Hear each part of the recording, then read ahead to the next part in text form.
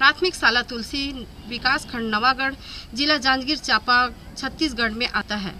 यह प्राथमिक शाला सात आठ साल से जर्जर स्थिति में पड़ा हुआ है। यहाँ पर करीबन 40 बच्चे बैठते हैं। इसके स्कूल के किनारे में एक अतिरिक्त भवन है, जिसमें दो कमरे हैं।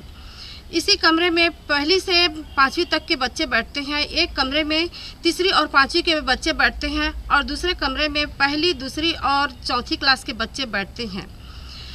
प्रधान पाठिका द्वारा बताया जा रहा है कि वो कई बार सरपंच को आवेदन दे दे करके थक गई है मगर उस स्कूल के लिए कोई ध्यान नहीं दिया जा रहा है। शासन की लापरवाही बच्चों के लिए बहुत ही गलत प्रभाव पड़ रहा है। एक ही क्लास में बैठ करके सभी बच्चे पढ़ाई कर रहे हैं जिसमें बच्चों का पढ़ाई प्रभावित हो रहा है। मैं हूँ वृंदा आज़ाद और ये है मेरा समुदाय। इस स्कूल में कितना क्लास है? पाँचवीं से लेकर पहली से लेकर पाँचवीं।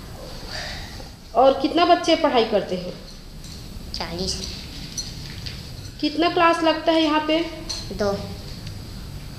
दो रूम में कैसे बैठते हैं आप लोग? दूसरी और पाँचवीं में इसमें तीसरी और पहली। कार को यही दिखाना चाहती हूँ कि जब गवर्नमेंट इतना साला के लिए पैसा दिया जाता है उसके बाद भी यहाँ पे प्राथमिक शाला नहीं बन पाया है। शिक्षा ही बच्चों का भविष्य है।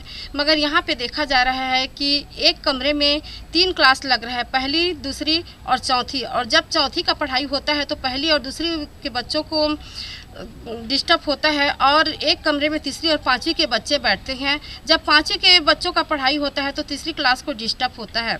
यानी यहाँ पे देखा जा रहा है कि बच्चों का पढ़ाई प्रभावित हो रहा है। इस वीडियो को देखने वाले सभी दर्शकों से मेरी गुजारिश है कि ग्राम पंचायत तुलसी का mobile number seven six nine seven eight four nine five nine three nine को कॉल कर दबाव बनाए ताकि जल्द से जल्द ग्राम पंचायत तुलसी का प्राथमिक शाला बनने पाए और सभी बच्चों को पढ़ाई की सुविधा मिलने पाए। मैं हूँ वृंदा आज़ाद, बिलासपुर, छत्तीसगढ़, इंडिया अनहर्ड के लिए।